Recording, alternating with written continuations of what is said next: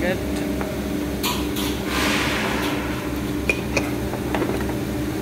लगेगा यहाँ पर अलाइनमेंट करने के लिए।